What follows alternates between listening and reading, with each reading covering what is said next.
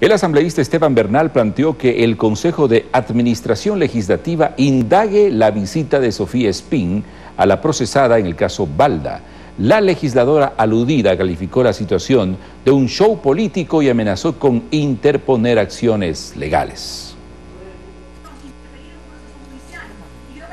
Asambleístas correístas son los los que respaldan a Sofía Spin, sobre quien desde la semana pasada caen señalamientos de sectores de oposición por haber visitado en prisión a Diana F., procesada en el caso Balda por lo que Esteban Bernal en la sesión de pleno de este martes presentó para el debate una propuesta de resolución para pedir explicaciones del hecho a las autoridades gubernamentales encargadas de la custodia de las cárceles, requerir que la justicia ordinaria actúe por una posible intromisión en el proceso judicial que involucra al expresidente Rafael Correa y plantear que el Pleno de la Asamblea exhorte al Consejo de Administración Legislativa a arrancar una investigación contra la legisladora. Y que como Asamblea Nacional logremos darle una respuesta al país que está ávido de requerir aquello.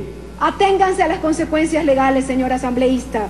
Rechazo las mentiras y el show político la resolución no pudo votarse porque la sesión plenaria fue suspendida para retomarla la mañana del jueves, pero en tanto varios asambleístas con sus criterios evidencian cuál será su voto. Quien nada debe, nada teme. Y hoy más que nunca la Asamblea necesita transparencia.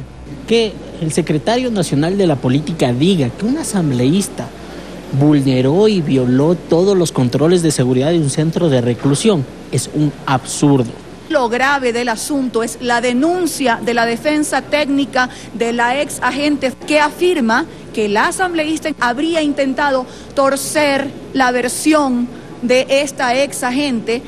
Santiago Villasañay, Telerama Noticias.